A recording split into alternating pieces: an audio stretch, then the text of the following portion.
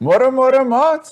En ons is nog steeds op toer en ons is nou al in Pretoria. Maar ons kan nog steeds met julle storie deel vanoggend en ons is by die belangrike deel aan die einde van die evangelie, daar waar Joshua gevange geneem gaan word en vir ons sonde sterwe, maar ook opstaan. Nou in Lukas 22 lees ons van 'n baie baie belangrike ete.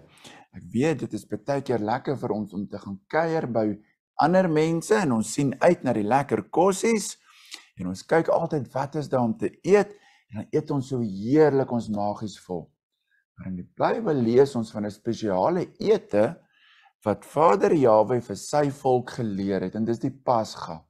Toe hulle nog in Egipte was, toe leer hy vir hulle dat hulle 'n lammetjie moet vat en kyk dat hy niks daarmee fout met hom is nie en dat hulle moet slag en dat hulle alles moet opeet en dat hulle die bloed van die lammetjie aan die kusyne sit want in daardie aand sou hulle verlos word uit Egipte en die bloed was die teken dat Jahwe hulle lewe moet spaar. Maat en oor die eeue heen het hulle Pasga gehou en dan kom Yeshua en hy is ons lam wat vir ons geslag gaan word. Maar Yeshua het vir die disippels gesê vir Petrus en vir Johannes want hy het geweet die tyd is naby dat hy sou sterwe dat hulle na die dorpie toe moet gaan en hulle sal 'n man kry wat 'n waterkruik dra. En hulle moet vir die man vra waar maak hy die ete gereed? En hulle het hom gevolg en het gesien by 'n spesifieke huis en 'n spesifieke vertrek met 'n groot tafel. Hoekom 'n groot tafel?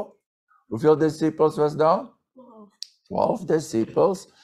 En en dan sou hulle daardie pasga eet die laaste keer En terwyl hulle die aand by die tafel sit en dit was 'n baie spesiale ete, maar ook 'n baie baie hartseer ete, want Joshua het geweet die uur is nou baie baie naby dat hy sou sterwe, het hy vir hulle toe hulle geëet het, het hy die brood geneem en nou klink dit baie bekend, nê? Nee, want ons hou baie keer nagmaal by die dienste.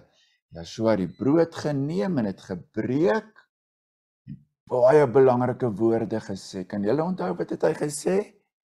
Neem eet, dit is my liggaam wat vir julle gebreek word. En nadat hulle geëet het, na die maaltyd het hy ook die beker geneem, nê, met die sap en die druiwesap en vir hulle gesê, en dis baie belangrike woorde dat dit is eintlik 'n teken van sy bloed wat vir ons sal vloei. Nou maat dat ook 'n baie lelike ding daardie aand gebeur by daai ete want Joshua het geweet wie gaan hom verraai. Wat een van die 12 disippels sou hom verraai? Judas Iskariot. Judas Iskariot en Joshua het dit te kenne gegee en gesê dat die een wat saam met hom sy hand in die skottel sal steek, sal hom verraai. En Judas het opgestaan en uitgeloop. Hy het nie deel gehad meer aan die disippels nie die die Bybel sê die duiwel het in sy hart gevaar. Maar die ander kant is ook waar. Yeshua het vir die disippels wat by hom was, die 11 gebid.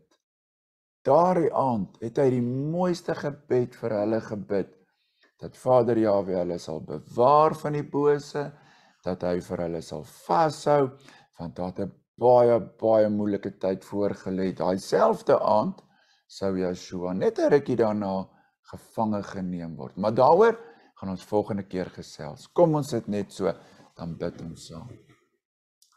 Vader Jawe, baie dankie vir u woord. Dankie dat ons kan lees van dinge wat gebeur het. Dankie dat ons dit kan glo. Dankie dat Joshua self vir ons die brood van die lewe is. Help vir ons dat ons van kleins af vir u sal lief wees en sal dankbaar wees vir alles wat U vir ons doen vir al U liefde in Yeshua. Amen. Ja, maat, tot volgende week. Soet wees. Tata.